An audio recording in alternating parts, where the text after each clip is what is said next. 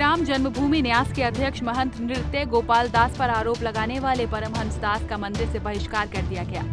महंत सर्वेश्वर दास ने कहा कि परमहंस दास को तपस्वी छावनी से भी हटा दिया गया। अब उनका तपस्वी छावनी से कोई संबंध नहीं है। गुरु तुल्य हैं मणिराम छावनी के महंत नृपाल दास जी। उनको बोल दिया कि उनका दिमाग खराब है, इसलिए हमने जो है स्थान से निष्कासित कर दिया, पद से हटा दिया।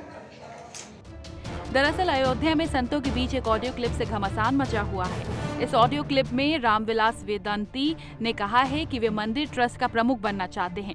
वहीं दोनों के द्वारा नृत्य गोपाल दास के खिलाफ अभद्र भाषा का प्रयोग भी किया गया था, जिसके बाद नृत्य गोपाल दास के समर्थकों ने जमकर बवाल किया और तपस्वी छावनी पहुंचकर घेराबंदी कर दी थी। अयोध्या से न्यूज़ के लिए बीबी यादव की रिपोर्ट।